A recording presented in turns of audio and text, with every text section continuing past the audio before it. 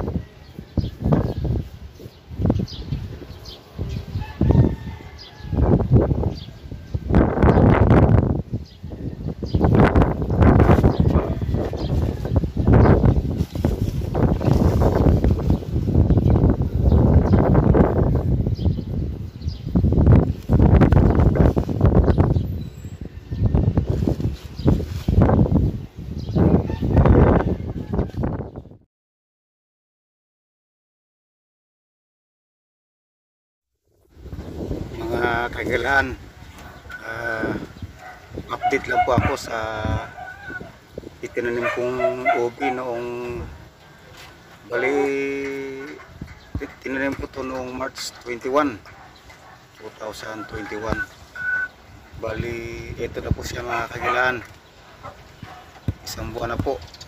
Kasi ngayon March ah, April 23 kaya isang buwan siya nung isang araw. Ito na po siya mga kagalaan yan. Bali nasa sako lang po siya. Bali limang ano po yan? Limang lalagyan. Yan sila. Yung isa ayun kasi sibo lang papansin nyo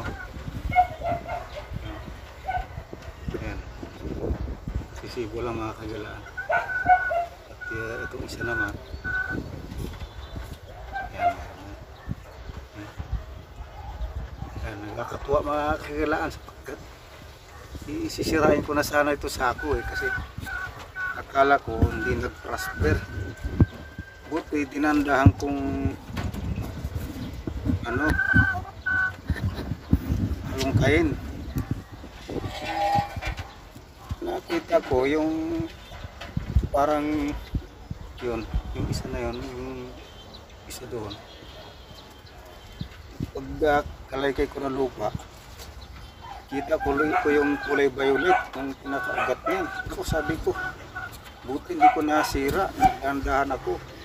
Kaya hindi ko tinuloy sa pag ano, sira mga kagalaan after one month. Nakatuwa mga kagalaan. Ayan. Bali, ito na po ang ano niya. oh. Dadangkalin natin mula na sa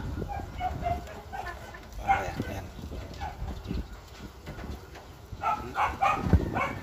Bali dalawang dangkal na yung ano niya.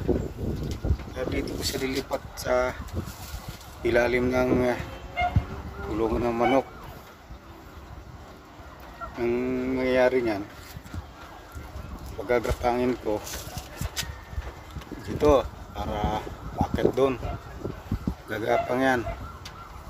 So hayaan ko lang sila dyan. Gagawin ko, dadagdagan ko lang ng lupa. Tsaka yung organic na ano, itong yung mga ano ng manok. Pero ibibilad ko muna sa araw yan. Actually, pwede nang i-apply yan eh. Eh, ko mangyari, patutuyuin ko muna. Organic po yan mga kagilaan. Yan sila. Yan sila ngayon sa lalim.